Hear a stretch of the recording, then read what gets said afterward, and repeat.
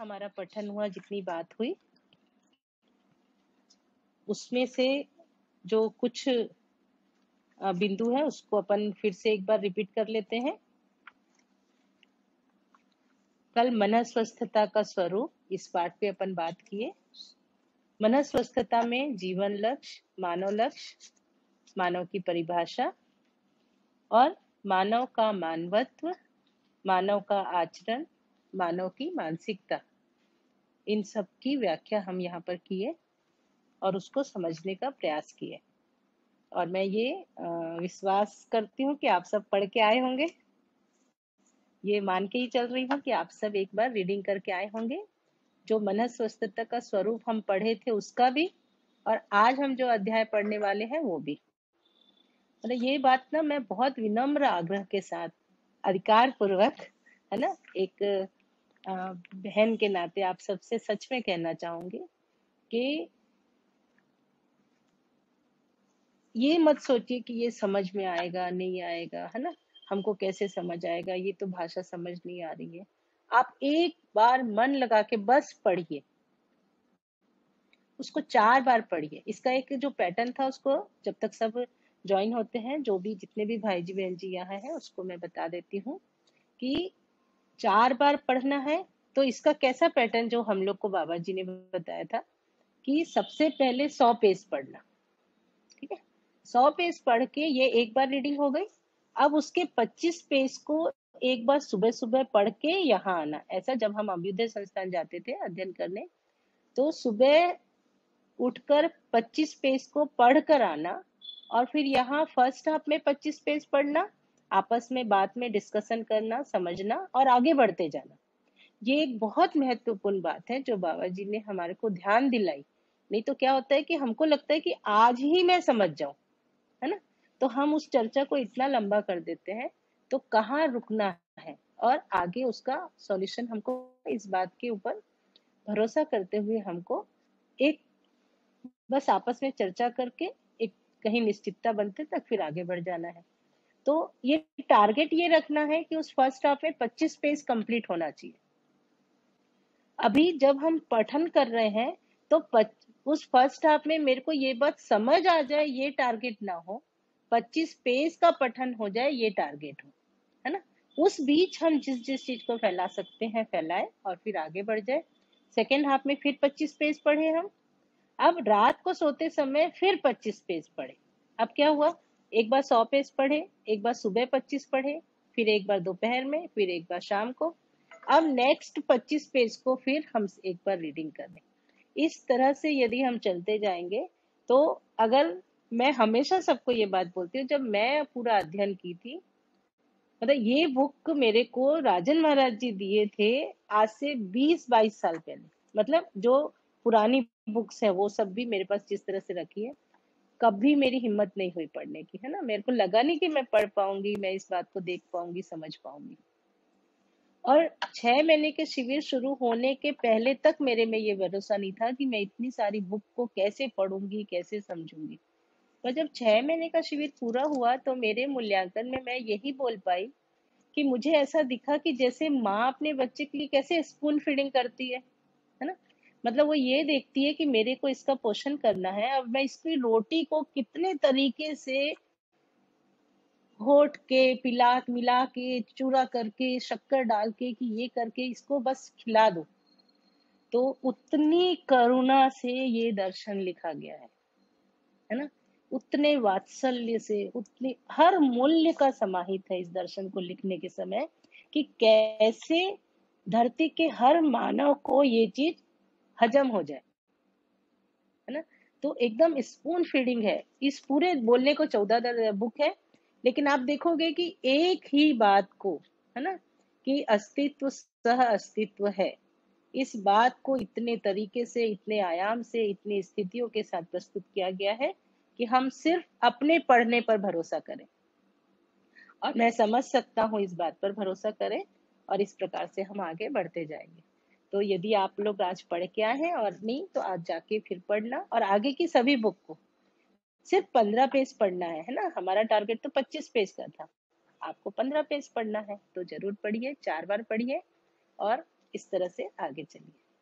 तो मेरे को लगता है ऐसा हो ही पाएगा कि हम बहुत अच्छे से समझ जाएँगे।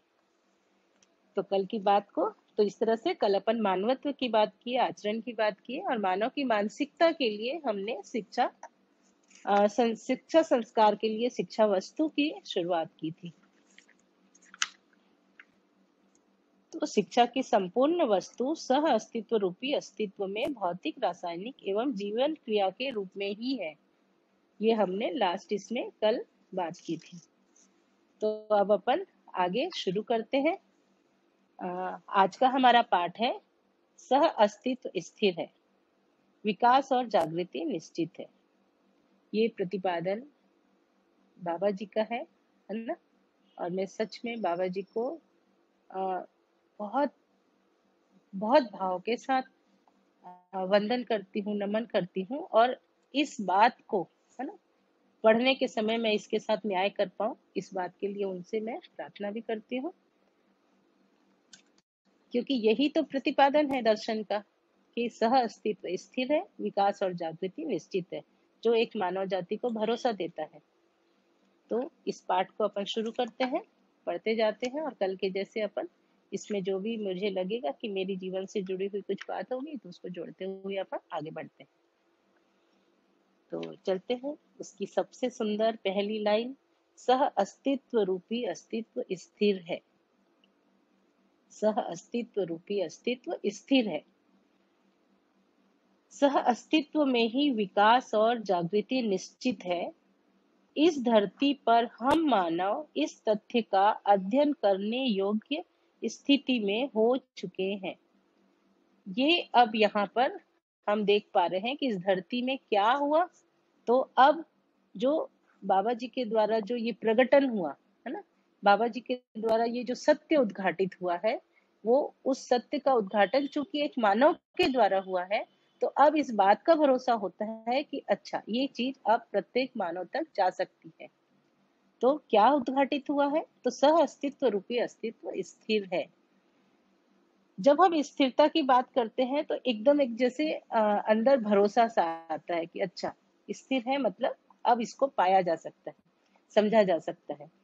तो इसको अपन इस रूप में भी बोल सकते हैं, जैसे ब्रह्म सत्य जगत शाश्वत। ये स्थिति, ये निरंतर है है ना? ये बनाई, ये त्रिकालाबाद है है ना? ये किसी भी चीज़, ये इस प्रकार से इस लाइन को अपन देख सकते हैं। और अगर ये ऐसा है तो सह अस्तित्व में ही विकास और जागृति निश्चित है।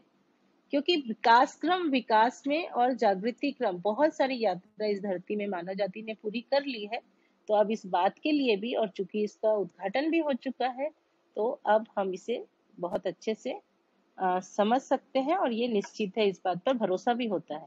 और अगर कहीं भरोसा अभी कम भी है तो हम आगे जैसे जैसे इस बात को समझेंगे तो जैसे मैं अगर अपने आप में बोलती हूँ कि मेरे अंदर अगर ये बात स्थिर हो गई है है ना? कि हाँ अब जागृति निश्चित है तो ये कैसे हुई? थोड़ा सा अगर बताऊँ कि जब इस दर्शन को समझने के पहले, है ना? मतलब कुछ पाना है, कहीं पहुँचना है, कहीं पहुँचना है, ये एक मन में था। लेकिन कहीं ना कहीं ऐसा लगता था कि ये पहुँच के क्या करेंगे, वहाँ जाके तो फिर विलय हो जाना है तो अपना अस्तित्व तो खत्म हो जाएगा। तो नहीं नहीं नहीं, अब जैसे भी है, हमको यही रहना है। लेकिन जब एक रहस्य था मतलब कई जगह से कुछ कुछ सुनने को मिलता था कि ऐसा होता है, ऐसा होता है तो कुछ समझ में बहुत अच्छे से नहीं आता था, पर कभी प्रलोभन जैसा लगता था, पर कभी भय भी लगता था। लेकिन जब से ये दर्शन अगर मैं बोलूँ कि पिछले दस वर्षों से मतलब अब ना किसी भी प्रकार का मतलब अब अगर मैं बोलूँ कि मेरे को अनुभव के लिए भी कोई इतनी बिल्कुल भी अभी कभी ऐसे मुँह में नहीं आता है ध्यान में, क्योंकि क्रमशः अगर हम बढ़ रहे हैं तो हमको जो हर क्रम में, हर स्थिति में जो उपलब्धि मिल रही है, वो हमारे अंदर एक भरोसा दिलाती है, एक आश्वस्ति दिलाती है ना? और ये दिलाती है कि अब तो निश्चित है, जागृति निश्चित है है ना? मतलब ये मैं अपनी मानसिकता की बात कर रही हूँ कि अब मुझे लगता है जागृति निश्चित है। ऐसा नहीं होगा कि मैं ऐसा नहीं होगा, ऐसा हो जाएगा तो ऐसा नहीं होगा, ऐसा नहीं करूँगी तो नहीं। अगर ये शुरुआत हो गई है और मैं हर दिन उसकी उपलब्धियों को देख पा रही हूँ तो जागृति निश्चित है, ये भरोसा आता है और ये भरोसा हर मानव को आ ही जाएगा। आज नहीं तो कल, है ना? जैसे जैसे उनके सामने यथार्थता, वास्तविकता, सत्यता की बातें आएँगी। तो इस भरोसा के साथ अपन चलते हैं। तो शुभ का दृष्टा, कर्ता, भोक्ता। शुभ का दृष्टा, कर्ता, भोक्ता। तो अब ये बात कि मानव ही शुभ का दृष्टा है, करता है भोगता है। तो ये मूल शिक्षा से पाई गई। उसके मूल में शिक्षा संस्कार से पाई गई। ज्ञान, विज्ञान, विवेक का धारक, वाहक केवल जागृत मानव ही है। अब इसको अपन ऐसे जोड़ सकते हैं, यहाँ पर अगर अपन देखें तो अब ये एक जो शुभ का दृष्टा करता भोक्ता, जागृत मानव ही है, अब उसको शिक्षा संस्कार से ये सारी चीज़ें हमको प्राप्त हो जाएगी। तो शिक्षा संस्कार से शुभ के दृष्टा करता भोक्ता, जो एक परंपरा की साधना विधि तक पहुँच के जो चीज़ प्राप्त हुई, उसमें जो प्रतिपादन हुआ पर इस पूरे उसको जिस तरह से लिखा गया है वाग्मय को, उससे हम शिक्षा संस्कार द्वारा ज्ञान, विज्ञान, विवेक का जो धारक वाहक है, वो जागृत मानव ही है। तो उसी का जो आध्यात्मिक दूसरा नाम शिक्षा संस्कार योजना के तहत ज्ञान, विज्ञान से जोड़ते हुए हम इस बात को समझ पाएँगे, क्योंकि मानव ही उसका धारक वाहक है। यह तथ्य अपने को भली प्रकार से समझ में आता है। सह अस्तित्ववादी दर्शन, ज्ञान, विज्ञान विवेक पूर्वक ही हर मानव शुभ कर शुभ सर्व शुभ घटनाक्रम में अपने को व्यवस्था सहज रूप में प्रमाणित करते हुए समग्र व्यवस्था में भागीदारी करना बन जाता है।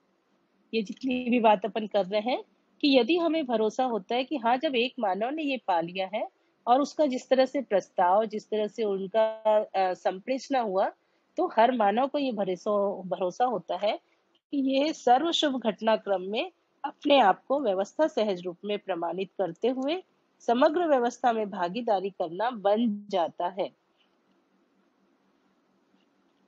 यही सर्व शुभ कार्यक्रम का पहुँच और प्रकट रूप है।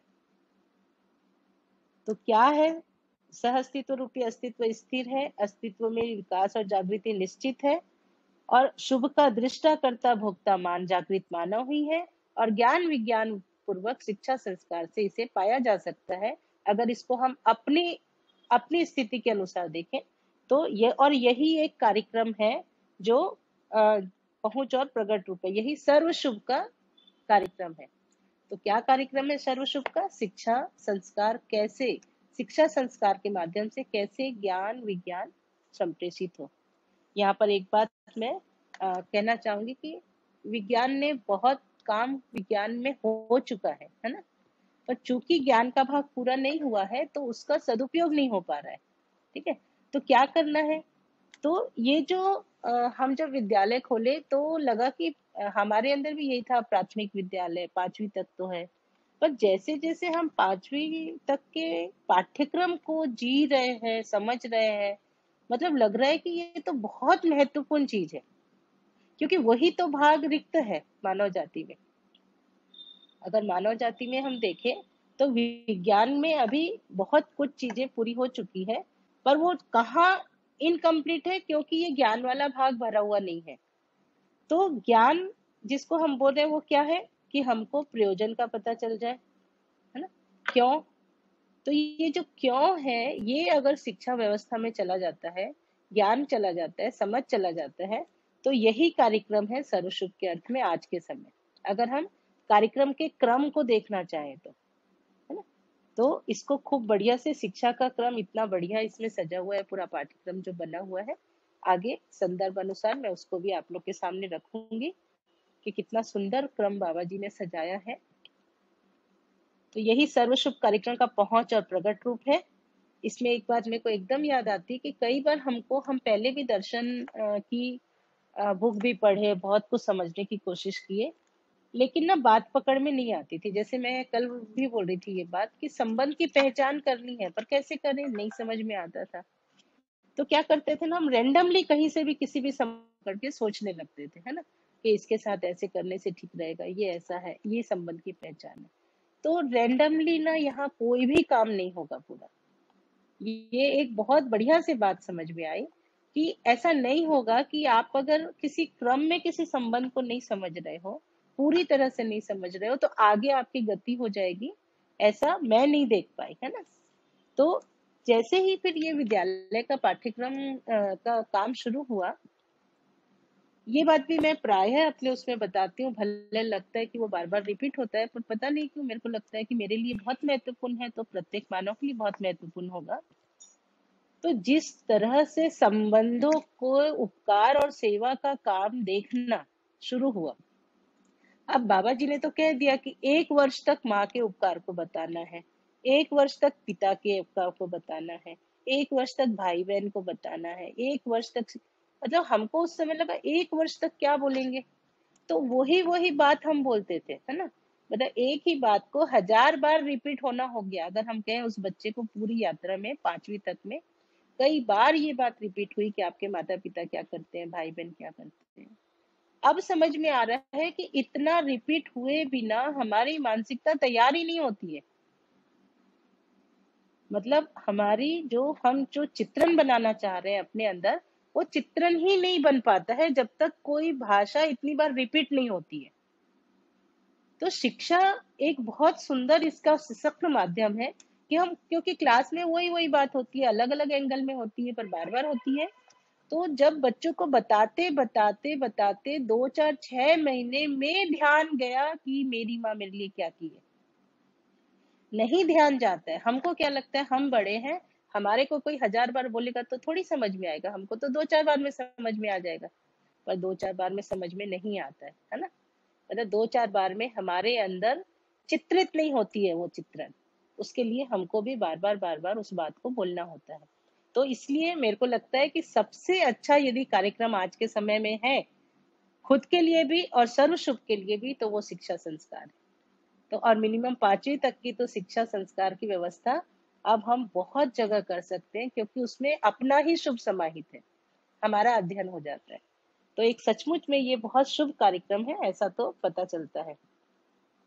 इसके लिए अर्थात सार्वभौम ज्ञान, विज्ञान, विवेक के लिए अध्ययन ही एकमात्र स्रोत है।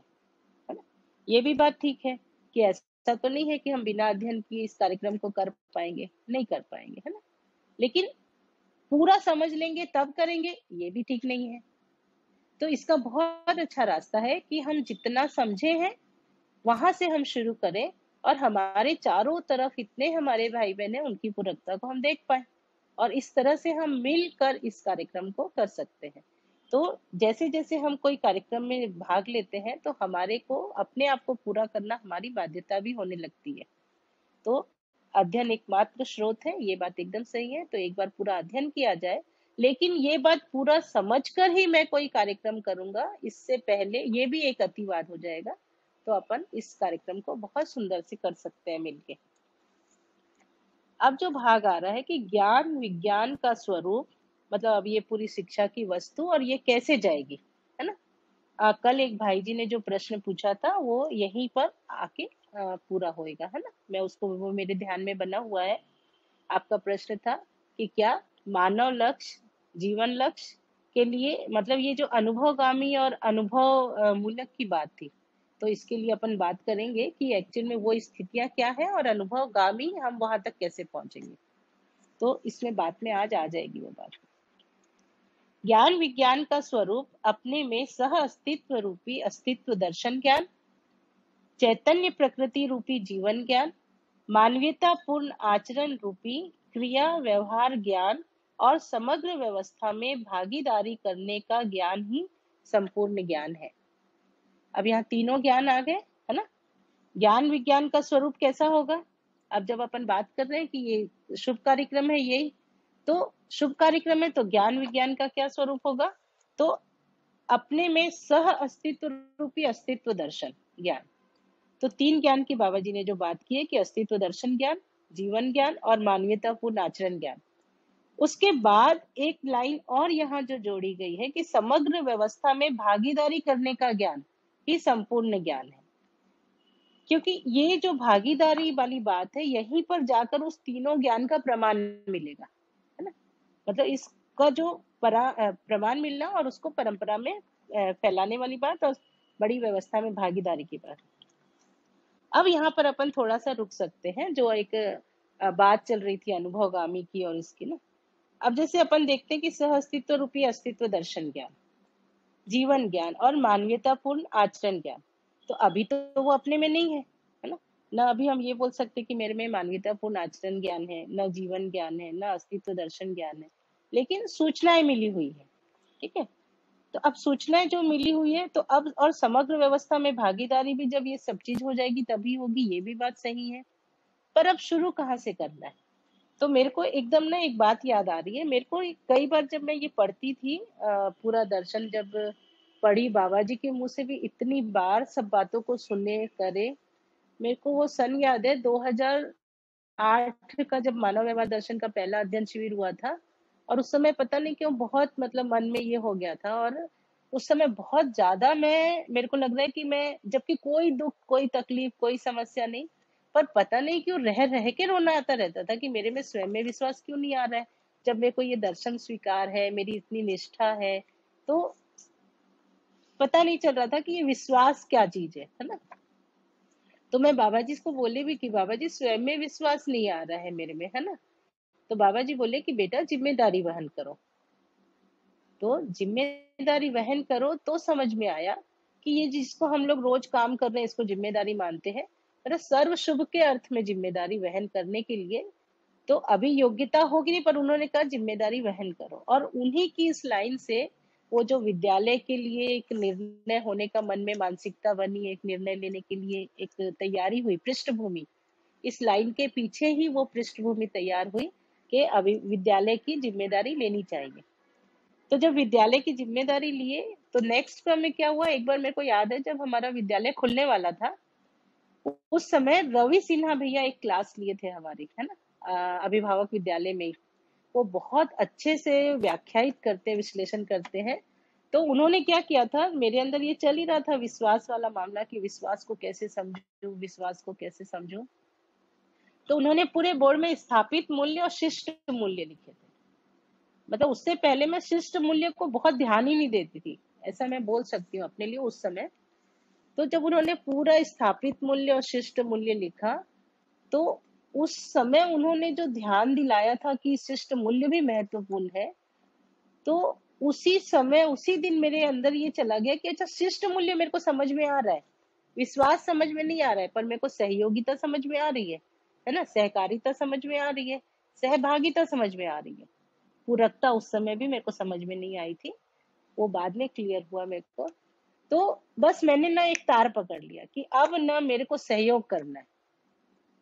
मतलब अब वहाँ से मेरे को लगता है कि वो जो स्वांत सुखाए से एक जो सर्व शुभ वाला जो मेरी शिफ्टिंग थी क्योंकि बहुत पुराना अभ्यास था ध्यान का और आ, अपने आप को उसमें मतलब जैन धर्म से भी हूँ मैं जैन उसमें परंपरा में भी और विपसना से जुड़ना तो मतलब सब जगह एक वो बात थी कि अपने निर्वाण के लिए अपने मोक्ष के लिए तो वो जो मानसिकता की जो मेरी शिफ्टिंग अभ्यास में हुई, वो उस समय हुई। मुझे लगता है कि मैंने सोचा कि अब बस मेरे को सहयोग करना है। अगर मैं सहयोग करूँगी, सहकारिता, सहभागिता के साथ रहूँगी तो मेरे अंदर विश्वास स्थापित होगा। तो बस एक ना होता है ना कि बस उस समय समझ के आधार पे नहीं, बस मुझे अभ्यास करना है। तो कोई भी कुछ भी बोलता है हाँ हाँ हाँ हाँ हाँ। इसमें ना बहुत पूरे रात दिन अपन लग, कोई फ़ोन किया, मेरे को आपसे बात करी हाँ। चाहे वो कोई भी टाइम हो, दोपहर हो, रात हो, ऐसा लगता था बस अब ना तो बोलना ही नहीं है। तो इसमें एक चीज़ समझ आई जो एक अपन बात सुनते रहते ना, नहीं, जितनी शरीर की लिमिट है उतना ही काम करो, ऐसे अति मत करो, थक जाओगी। पर यहाँ एकदम उल्टी घटना घटी। मतलब इतना ज़्यादा एक समय था ऐसा जो कि पूरा टाइम लगता था कि हम किसी चीज़ में लगे हुए हैं, लेकिन थकान नहीं थी। मतलब बिल्कुल थकान नहीं होती थी। तब ये बात समझ में आई कि ये जो सदुपयोगिता है ये सर्वशुभ में लगना है ये सर्वशुभ में लगना मेरे अंदर क्या दे रहा है है ना? मतलब मेरे को उसका क्या मिल रहा है? तो यहाँ पर वो जो कल भैया से जो कल भैया का प्रश्न था आ, वो जब हम इसको ऐसा देख पाते हैं कि जीवन लक्ष्य और मानव लक्ष्य के बीच में दूरी नहीं है ज़्यादा इसलिए वहाँ पर हम अनुभवगामी और अनुभव मूल्य को नहीं सेट कर पाएँगे है ना? अनुभवगामी के लिए हमको थोड़ा और स्टेप नीचे आना पड़ेगा, तब हम वहाँ तक पहुँचेंगे। तो उसकी बहुत सुंदर एक व्याख्या है कि जब हम सर्व अपने वैभव के लिए अपने वैभव के लिए जब हम सोचते हैं तो मानव लक्ष्य जीवन मूल, जीवन लक्ष्य में समाहित हो जाता है। और जब हम सार्वभौम व्यवस्था के लिए सोचते हैं तो जीवन लक्ष्य मानव लक्ष्य के लिए समर्पित हो जाता है। दोनों एक ही बात है है ना? एक ही स्थिति है। लेकिन जब मैं अपने स्वराज्य के बारे में सोचती हूँ, अपने वैभव के बारे में सोचती हूँ तो मानव लक्ष्य जीवन लक्ष्य में समाहित हो जाता है। और जब मैं सार्वभौम व्यवस्था के लिए सोचती हूँ तो वही जीवन लक्ष्य मानव लक्ष्य के लिए समर्पित हो जाता है। है ना? तो बात तो एक ही है दोनों। तो अनुभवगामी क्या है, उसको अपन आज देख रहे हैं। तो बहुत सुंदर से तो एक चीज़ जो मैं बता रही थी, शिष्टमूल। अब सहकारिता, सहभागिता, ये करते करते में ही इतना खुशी, इतनी खुशहाली होने लग गई इतना कुछ अपना एक संबंध का फैलाव होने लग गया कि वो ही अपने आप में विश्वास हो गया। मतलब मैं ये देख पाई कि परस्परता में जब हमारा अपना फैलाव हो जाता है संबंधों का और संबंध में निर्वाह होने लगता है तो यही तो विश्वास है। मतलब मैं अकेले में विश्वास लेके क्या करूँगी? तो सबके साथ जीना ही विश्वास है, ऐसा शायद मैं देख पाई और परस्परता में मैं उस विश्वास को देख पाई। तो इस तरह से आज तक मैं देख रही हूँ कि वो बढ़ रहा है। अब आप सोचो कि आज मैं अगर ऑनलाइन क्लास कर रही हूँ, है ना? मतलब मैं कभी भी इस तरह से, यहाँ तक कि मोबाइल भी मैं सिर्फ़ बात करने के लिए उपयोग कर पाती हूँ। जितना भी थोड़ा बहुत मैं सीखी हूँ, वो चानी बहन जी और शालू बहन जी मेरे को विद्यालय से संबंधित ही सिखाए हैं, है ना? लेकिन आज भी मैं इतनी विश्वास पूर्वक कैसे प्रस्तुत हूँ? क्योंकि मेरे पीछे इतने भाई बहन लगे हुए हैं ना मतलब शीला दीदी वहाँ से मैसेज करती है कि दीदी को बोल तो पाँच मिनट बचे हैं, है ना? और मैं अपने आप को समेटना शुरू करी। शालू बहन जी लगे ही रहते हैं मेरे साथ। साकेत बेटा जी लगे रहते हैं। सुरेंद्र पाल भैया जी ध्यान दिलाते हैं हाँ दीदी, ये ऐसा है हाँ। सब अशोक गोपाल, सब लोग इतना कर रहे हैं, इतना लगे हुए हैं, यही तो विश्वास है। आज मैं आपके सामने विश्वास पूर्वक प्रस्तुत हूँ, उसके पीछे कितने लोग लगे हुए हैं। तो वो मेरे विश्वास का आधार है, ये पकड़ में आया धीरे धीरे तो इनमें तो ये जो अनुभवगामी विधि है कि हम सर्व शुभ के लिए अपनी मानसिकता तैयार कर लें। अब यहाँ पर एक बात जो और मेरे को महत्वपूर्ण लगती है बतानी कि कई बार हमको लगता है जब हम पूरा दर्शन पढ़ लेते हैं या शिविर करते हैं या बहुत कुछ सुन लेते हैं तो अरे हम तो अभी नौकरी में लगे हुए हैं, अरे हम तो अभी व्यापार कर रहे हैं तो हमको ये नहीं समझ में आएगा, हमको ये नहीं पकड़ में आएगा। इसमें तो लिखा है कि नौकरी छोड़ो, व्यापार छोड़ो। बिल्कुल ऐसा नहीं है। एक बार भी बाबा जी ने ये नहीं कहा है कि नौकरी छोड़ो कि व्यापार छोड़ो। ठीक है? क्योंकि ये संक्रमण पीरियड है। हमको हर क्रम को देखना पड़ेगा, है ना? तो यहाँ पर जब एक बार बाबा जी से बात हुई थी, जब शिक्षक आते थे अपने यहाँ अभ्युदय संस्थान में तो उन्होंने कहा कि हमको क्या फिर नौकरी छोड़नी पड़ेगी? और कई हमारे हमारे सब, हम सब व्यापार से जुड़े हुए लोग हैं तो कई हमारे भाई बहन पूछते थे तो क्या व्यापार कुछ नहीं छोड़ना पड़ेगा। अब यहाँ से कैसे यात्रा शुरू होगी? तो बाबा जी ने कहा था कि अपने तन, मन, धन का सदुपयोग करना है, बस ये निर्णय ले लो। अपने तन, मन, धन का सदुपयोग करो। ठीक है? अब आप नौकरी कर रहे हो, व्यापार कर रहे हो, आप जिस भी तरह से आप आज तक जीते आए हो और आपके परिवार को यदि उसकी आवश्यकता है, यदि सबकी सहमति ऐसी है तो कुछ नहीं छोड़ना है। खाली आपको अपनी मानसिकता में ये हमारे अंदर आने लग जाता है, अगर हम इस बात को समझ पाते हैं कि तन मन धन का सदुपयोग करना है। तो तन मन धन का सदुपयोग किस चीज़ में करेंगे? तो सर्वशुभ के अर्थ में करेंगे। यहाँ से हमारी शुरुआत होती है। मतलब अगर हम बोले कि कैसे ये चीज़ की शुरुआत होगी तो अभी मेरे को भली समझ नहीं है, मेरे आचरण में नहीं है, मानवत्व, आचरण अभी नहीं है मेरे में। लेकिन अभ्यास अभ्यास से तो हम आज तक आगे बढ़े हैं। तो इसका भी एक अभ्यास है। तो क्यों ना अभ्यास किया जाए कि अपने तन, मन, धन का सदुपयोग करना है। इस बात के लिए ईमानदार हुआ जाए। अभी समझदारी नहीं है, पर अब कैसे करेंगे हम? सबसे पहला स्टेप था, एक समय था जब हम भागीदारी करते थे, है ना? मतलब बस भागीदारी कर रहे हैं, वहाँ ज़िम्मेदारी भी नहीं है। तो कुछ काम कर दिए, कुछ काम नहीं किए तो बोल दिए, अरे हमें, मैं तो की थी, नहीं हुआ तो मैं क्या करूँ? है ना? फिर कुछ कर दिए, फिर कुछ उसमें कमी रह गई। नहीं, इसमें मेरी गलती नहीं है, आपकी गलती होगी। ये भागीदारी वाली बात है, जहाँ पर न तो ज़िम्मेदारी है, न ईमानदारी है, न समझदारी है। तो ऐसा तो हम सब जीते आई हैं। फिर धीरे से उसमें ज़िम्मेदारी जुड़ गई। तो ज़िम्मेदारी अब समझ में आया कि अच्छा हम ज़िम्मेदारी लेते हैं और आसपास में सबसे मार्गदर्शन ले लेंगे और आगे बढ़ जाएँगे। तो ज़िम्मेदारी पूर्वक काम करना शुरू कर दिए। अब धीरे धीरे जैसे मैं अपनी यात्रा अभी की बता रही हूँ विद्यालय की, कि हम भागीदारी कर रहे थे, फिर हम ज़िम्मेदारी ले लिए। अब ज़िम्मेदारी के बाद ईमानदारी, ज़िम्मेदारी से ईमानदारी की शिफ्टिंग हो रही है है ना? कि भाई मैं जो बच्चे को बोल रही हूँ, वैसा मैं जी रही हूँ कि नहीं? मैं जो बच्चे को बोल रही हूँ, वो मेरे में है कि नहीं? अब हमको उस ईमानदारी तक पहुँचना है। ईमानदारी आ जाएगी तो समझदारी तक पहुँच जाएँगे। यही तो पात्रता और योग्य क्षमता, पात्रता, योग्यता का विस्तार है। तो इस प्रकार से हम ईमानदारी पूर्वक रहें और अपने तन मन धन का सदुपयोग करें। ये हमारा अनुभवगामी जाने का पहला स्टेप है, ऐसा मैं देख पाती हूँ। और जैसे ही हम समग्र व्यवस्था में भागीदारी करते जाएँगे करते जाएँगे, है ना? यही तो मानवीयतापूर्ण आचरण है। अभी हम अभ्यास से कर रहे हैं। अभी हम अभ्यास से कर रहे हैं। अब धीरे धीरे क्या होता है? फिर मूल्य समझ में आना, मूल्य से चरित्र में जाना, चरित्र से नैतिकता में जाना। तो मूल्य, चरित्र, नैतिकता की जैसे जैसे हमारे में समझ आएगी, हम ईमानदार भी होते जाएँगे। हम समय जिम्मेदार होते जाएँगे, ईमानदार होते जाएँगे। और यही चीज़ें तो आगे जाके जीवन ज्ञान और सहअस्तित्व दर्शन ज्ञान तक हमको लेके जाएगा, है ना? तो यही तो समझदारी है। तो ये अनुभवगामी है कि मैं भागीदारी, ईमानदारी ज़िम्मेदारी, ईमानदारी और समझदारी की तरफ़ जाऊँ। आज मैं जिस स्थिति में हूँ, जिस साधन के साथ हूँ तो उस साधन के साथ ही हम काम करें, वहाँ कम ज़्यादा कुछ नहीं होता है।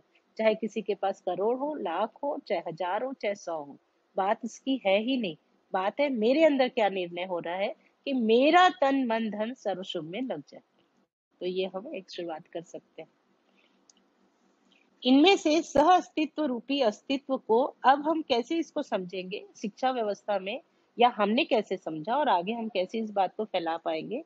तो पहले तो हम स्वयं के लिए समझ रहे हैं अभी। इनमें से सह अस्तित्व रूपी अस्तित्व को चार अवस्थाओं में और चार पदों में अध्ययन करना बन पाता है। है ना? मतलब चार अवस्थाओं में जो हम सब जानते हैं पदार्थ अवस्था, प्राण अवस्था, जीव अवस्था, ज्ञान अवस्था, और वो जो चक्र है है ना? प्राण पद जीव पद देव पद दिव्य पद है ना? इस प्रकार से जो एक पद है, उस पद का अध्ययन करना बन पाता है। इसका मूल स्वरूप व्यापक वस्तु में संपूर्ण एक एक वस्तुओं का डूबा गिरा घिरा रहना ही है। यही सह अस्तित्व रूपी स्वरूप है। यह अपने में घटता बढ़ना होता ही नहीं है, फैलना सिकुड़ना होता ही नहीं है, हर हाल में होना ही बना रहता है। ये पूरा दर्शन का तात्विक भाग है है ना? जो हम देख पा रहे हैं कि सह अस्तित्व रूपी अस्तित्व को चार अवस्थाओं और चार पदों में अध्ययन करना बन पाता है। क्योंकि इसका मूल स्वरूप है, जो व्यापक वस्तु में संपूर्ण एक एक वस्तु का डूबा, भीगा घिरा रहना ही है। और यही सह अस्तित्व रूपी नित्य स्वरूप है। यह अपने में घटना बढ़ना होता ही नहीं है, फैलना सिकुड़ना होता ही नहीं है, हर हाल में होना ही बना रहता है। क्योंकि जब तक ये निश्चितता नहीं आएगी, तब तक उस बात की क्रम भी नहीं पड़ेगी तो ये जो बात है है ना? मतलब जब हम सह अस्तित्व बोलते हैं तो जब हम अध्ययन करेंगे तो धीरे धीरे हमको समझ में भी आएगा। अभी क्या होता है, जब हम शुरुआत में है तो सह अस्तित्व हम बहुत छोटी छोटी चीज़ों में भी देख पाते हैं कि भाई हम साथ मिल के जी रहे हैं, ये भी सह अस्तित्व है। फिर हम थोड़ा आगे बढ़ते हैं, समाज को देखते हैं तो सह अस्तित्व है। फिर हम प्रकृति को देखते हैं तो सह अस्तित्व है। ये सब हम सहअस्तित्व भाषा का ही उपयोग करते हैं, पर सहअस्तित्व तब तक समझ में नहीं आएगा जब तक मूल सहअस्तित्व क्या है, ये समझ में नहीं आएगा। मतलब तो मूल सहअस्तित्व क्या है? व्यापक और उसमें संपृक्त जड़ चैतन्य इकाई। ये सह अस्तित्व, ये अगर हम सह अस्तित्व को मूल रूप में बोलेंगे तो ये है कि सह अस्तित्व व्यापक में संपृक्त जड़ चैतन्य इकाई। ये सहअस्तित्व तक जब हम पहुँचेंगे, तब आज हम जिस जिस चीज़ को सहअस्तित्व बोल रहे हैं, उसको पूर्णता मिलेगी। तो उस समझ के साथ ही जब हम अस्तित्व मूलक आएँगे तो हम उस चीज़ का प्रमाण दे पाएँगे कि सहअस्तित्व मूलक जीना क्या होता है। तो ये इस प्रकार से कि उसमें कोई घटना बढ़ना होता ही नहीं है और फैलना सिकुड़ना होता नहीं है, हर हाल में होना ही बना रहता है। इकाइयों की परस्परता में निश्चित अच्छी दूरियों में। हर इकाई में स्वभाव गति प्रमाणित होने की व्यवस्था है ही। क्योंकि हर परमाणु अंश दूसरे परमाणु अंशों को पहचानने की स्थिति में ही परमाणु गठन के फलन में निश्चित आचरण चरितार्थ होता हुआ समझ में आता है। ये लाइनें मेरे को बहुत जब आप लोग के ही लिए मैं बार बार बार बार पढ़ी तो मेरे को, मेरे ऊपर भी बहुत उपकार हो रहा है कि मेरे को भी बहुत चीज़ें समझ में आ रही है ना? ये भी मेरे को आप लोग से कहना था कि इतनी बढ़िया लगी ये बात। ये जो निश्चित अच्छी दूरी है, इकाइयों का स्वभाव गति में प्रमाणित होने की व्यवस्था है। क्योंकि क्योंकि वाली जो दो लाइन है कि हर परमाणु अंश दूसरे परमाणु अंशों को पहचानने की स्थिति में ही परमाणु गठन के फलन में निश्चित आचरण चरितार्थ होना हुआ समझ में आता है। यहाँ पर यह समझ में आता है, एक सुंदर बात जो अपन कल भी पढ़े थे कि जब हम चारों तरफ़ एक व्यवस्था को देखते हैं तो मेरे अंदर एक व्यवस्था का निश्चयन होता है, संकल्प होता है। तो जो हम रविकांत भैया जी जो क्लास लिए थे, उसमें जो उन्होंने बात की थी कि परमाणु बनने से पहले भी अंश, भले वो रैंडमली है, लेकिन उनकी व्यवस्था के लिए प्रवृत्त है वो, है ना? मतलब एक व्यवस्था के लिए प्रवृत्त होते हैं। एक तो वो स्टेप है। फिर हम यहाँ देख रहे हैं कि जो परमाणु है, एक परमाणु अंश और दूसरा परमाणु अंश, वो भी अपने आप में, है ना? पहचानते हैं। एक परमाणु अंश दूसरे परमाणु अंशों को पहचानने की स्थिति में ही परमाणु गठन का काम हुआ। ये कैसे हम देख पाते हैं कि यहाँ कोई हस्तक्षेप नहीं है है ना? जैसे लोहे के परमाणु है उसके जो अंश हैं वो लोहे का ही आचरण करते हुए स्थिर है। आ, मिट्टी के जो परमाणु वहाँ पर जो है अंश वो उसी का आचरण करते हुए निश्चित है। तो ये जिस जिस जो जो परमाणु है वो अपनी ही व्यवस्था में है। तो ये जो अपनी अपनी एक व्यवस्था में ही गठन पूर्णता का उदय हो सकता है। मतलब जैसे यहाँ कोई ऐसा छीना झपटी नहीं है, हस्तक्षेप नहीं है तो हर कोई अपनी व्यवस्था में है, इसलिए आगे व्यवस्था और फलित प्रगटित होती जा रही है। तो निश्चित अच्छी दूरी का मतलब ये समझ में आता है कि स्वयं में व्यवस्था। जब हम स्वयं में व्यवस्था में होते हैं तो बड़ी व्यवस्था में भागीदारी का मतलब ही इतना है कि हस्तक्षेप नहीं करना, है ना?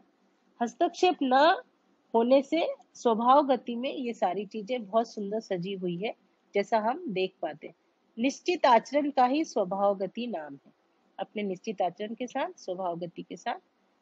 इसीलिए स्वभाव गति प्रतिष्ठा में ही हर इकाई अथवा संपूर्ण इकाइयाँ त्वसहित व्यवस्था और समग्र व्यवस्था में भागीदारी करता हुआ देखने, समझने में आता है। मतलब यहाँ पर एक लाइन बोलना बहुत, वो लगता है कि कई बार मानव, जब हम बोलते हैं कि मुझे बड़ी व्यवस्था में भागीदारी उनको अपील करती है तो करने वाले भाग में हम ज़्यादा जाने लगते हैं, है ना? जैसे जब हम अनुभवगामी की जो बात कर रहे हैं तो करने वाले भाग में बहुत ज़्यादा फैलने की बात नहीं है यहाँ। समझने वाला काम ज़्यादा हो, करने वाले बात बात बहुत है भी नहीं, है ना? तो करना नहीं है, समझना है चीज़ों को और देखना है और स्वयं के अध्ययन से भी यही स्थिति उद्घाटित होती है। इस अर्थ में विश्वास और जागृति निश्चित।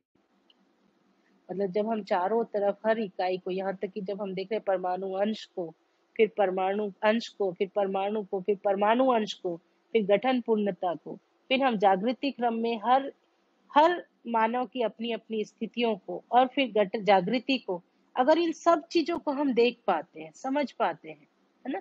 तो यही तो निश्चयता है जो हमारे अंदर आती है और हम अपने क्रम को भी देख पाते हैं। तो ये सारी चीज़ें हमको इस धरती पे दिख रही है, ये हमारे लिए बहुत सौभाग्य की बात है। आज अगर हम सब बोले तो हमको विकास क्रम भी दिख रहा है, विकास भी दिख रहा है, जागृति क्रम भी दिख रहा है और जागृत एक मानव भी साक्षात दिख रहा है।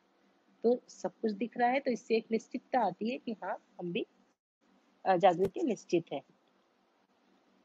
हम मानव की स्वभाव गति में ही, अर्थात स्वभाव गति संपन्नता के उपरांत ही मानवत्व सहित व्यवस्था और समग्र व्यवस्था में भागीदारी करने की प्रवृत्ति होती है। ये स्वाभाविक बात है मतलब स्वभाव रूप में होगी अभी हमको उसके लिए प्रयास करना पड़ रहा है। ऐसी स्वभाव गति जागृति के उपरांत ही होना पाया जाता है। मतलब अभी हमारे को प्रयास लगेगा, अभ्यास लगेगा लेकिन वो जो सहज गति है, वो जागृति के उपरांत ही होगी। जागृति तभी प्रमाणित होती है जब मानव समझदारी, ईमानदारी, ज़िम्मेदारी संपन्न हो जाता है। बढ़िया बात है है ना?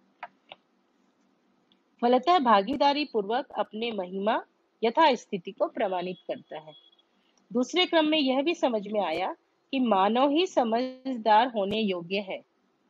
स्थिरता, निश्चयता को समझने के उपरांत ही स्वयं निश्चयता और स्थिरता के लिए ईमानदार हो पाता है। मतलब कितनी सुंदर बात है ये कि मानव ही ज्ञानावस्था की इकाई है, मानव ही समझ सकता है। तो ये जो चारों तरफ़ व्यवस्था है ना, इसको कौन समझेगा? तो मानव ही समझ सकता है और इस स्थिरता, निश्चयता को समझने के उपरांत, है ना, आज जब हम अध्ययन कर रहे हैं पर अंश का परमाणु का, पर अणु अनुरचना सभी भौतिक क्रिया, रासायनिक क्रिया और अब आज जीवन क्रिया भी। तो इन सब का अध्ययन करने से स्थिरता, निश्चयता को समझने के उपरांत ही स्वयं निश्चयता और स्थिरता के लिए ईमानदार हो पाता है। क्योंकि एक भरोसा आता है कि हाँ ऐसा हुआ जा सकता है। तो बेईमान होने की ज़रूरत ही नहीं है। एक्चुअली बेईमान होते कब है जब हमारे को भरोसा नहीं होता है। यदि हमारे अंदर भरोसा आ जाएगा तो हर आदमी ईमानदार होना ही चाहता है। जिम्मेदार हो पाता है ना? क्योंकि हर व्यक्ति जिम्मेदार होना ही चाहता है। मतलब आज मैं एक बहुत सुंदर बात बताती हूँ। कल अपनी क्लास थी यहाँ तो उसके थोड़ी देर पहले मैं अपने पोते के साथ यहाँ खेल रही थी, इसी हॉल में। ढाई साल का वो है, पर एक जो जिम्मेदार होने से जो एक अंगहार हो जाता है और एक कैसे होता है, हम यहाँ पर दौड़ रहे थे। कबीर बेटा जी दौड़ रहे थे तो मैं बार बार बोलती कबीर बेटा जी आप तो बोर्ड को पकड़ लेते हो, दादी तो नहीं पकड़ पाती है। फिर तीन राउंड हो गया, चार राउंड हो गया, मैं हर राउंड में ये मेरे से बोल रहा, बोल रही थी कि आप ये कर पाते हो, दादी तो नहीं कर पाती है। अरे वाह बेटा जी आप कर पाए, दादी तो नहीं कर पाए। अब मुझे नहीं पता, ये बच्चा तीसरे राउंड में एक जगह जाके रुक गया और बोला, दादी, आगे जाओ। मतलब इतना सुंदर अगर हमारे पास ये न्याय का याचक, न्याय प्रदायी क्षमता, ये सब हमारे पास भाषा नहीं होती, समझ नहीं होती, मैं मैं उस बच्चे का आकलन नहीं कर पाती, मैं उसका अध्ययन नहीं कर पाती, पर मैं कर पाई कि मैं बोली, क्या बात है ये तो ये चीज़ और विश्वास बढ़ाती है। फिर उतना ही नहीं हुआ, फिर थोड़ा आगे जाके जब सेकेंड राउंड शुरू हो रहा था तो रुक गया, है ना? और मेरे को बोला, दादी, आप कर पाओगे, जाओ। मतलब ढाई साल का बच्चा है और मैं आपको शब्द से ये बात बता रही हूँ उसकी, है ना? और इतना भी नहीं, और आगे मैं जो उसको देख पाई कि मैं जब चली और बोर्ड को जब मैं छू ली हूँ, तब वो बच्चा स्टार्ट हुआ है। मतलब तो क्या उसने, क्या ज़िम्मेदारी वहन की होगी उस समय? क्या उसने सोचा होगा? ये एक मेरे लिए शोध की बात हो गई, है ना? तो हर कोई जिम्मेदार होना ही चाहता है। फलस्वरूप भागीदारी पूर्वक प्रमाणित हो पाता है। इसलिए मानव को समझदार होना आवश्यक है। इसकी अपेक्षा, अर्थात समझदारी की अपेक्षा सर्व मानव में होना पाया जाता है। बहुत सुंदर बात है है ना? हमारे लिए बहुत सौभाग्य की बात है कि हम सहअस्तित्व स्थिर है, विकास और जागृति निश्चित है। इस बात का प्रतिपादन जिन्होंने किया है, वो श्रद्धे श्री बाबा जी, हम सबके बीच रहते हुए अपने आचरण के साथ हमको ये बात संप्रेषित करके गए हैं। और जितने लोग इस बात को जितना समझ पा रहे हैं, वो अपने और भाई बहनों को संप्रेषित करने में लगे हैं, है ना? तो कुल मिलाकर हम सब, कहीं ना कहीं हम सब के अंदर ये आश्वस्ति बिना अभी उस बात के, अनुभव के भी आ गई है, क्योंकि धरती में वो घटना घट चुकी है। तो खूब बढ़िया से जैसे जैसे हम अध्ययन करेंगे, ये बात और हमारी दृढ़ होती जाएगी। तो ये पाठ को अपन